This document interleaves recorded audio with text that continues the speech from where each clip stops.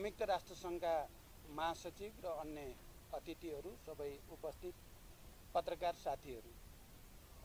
मेरो निमन्त्रणामा संयुक्त राष्ट्रसङ्घका महासचिवको चार दिने नेपाल भ्रमण आजदेखि औपचारिक रूपमा अगाडि बढेको छ र भर्खरै परराष्ट्र मन्त्रालयमा रक्षा मन्त्रालयमा रक्षा मन्त्री र परराष्ट्र मन्त्रीसँग कुरा गरेपछि प्रधानमन्त्रीमा को लेभलमा अहिले भर्खरै बडो सौहार्दपूर्ण वातावरणमा द्विपक्षीय हितका र अहिलेका राष्ट्रिय र अन्तर्राष्ट्रिय महत्त्वका विषयमा विश्वासका साथ हामीले छलफल गऱ्यौँ।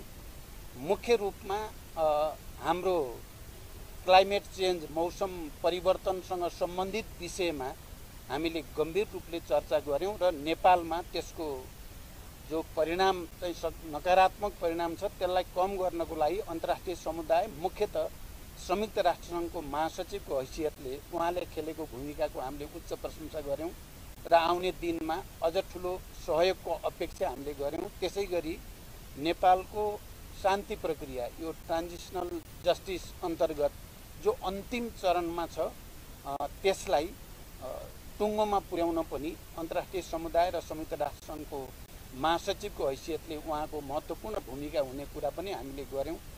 त्यसै गरी नेपालको आर्थिक विकास र समृद्धिको बारेमा अनि हामी एलडिसीबाट ग्रेजुएट हुँदैछौँ हामी छब्बिसमा।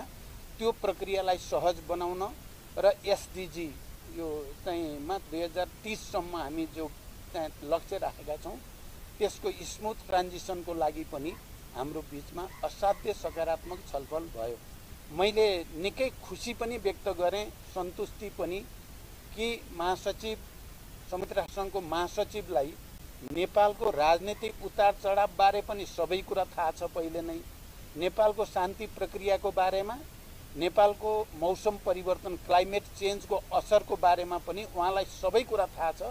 धेरै भन्नै नपर्ने गरी उहाँले नै नेपालको हितमा र अनि नेपालले शान्ति सेनाको रूपमा विश्व शान्तिको निम्ति खेलेको भूमिका नेपाली सेना नेपालको पुलिसले उहाँले मुक्त कण्ठले प्रशंसा गर्नुभयो।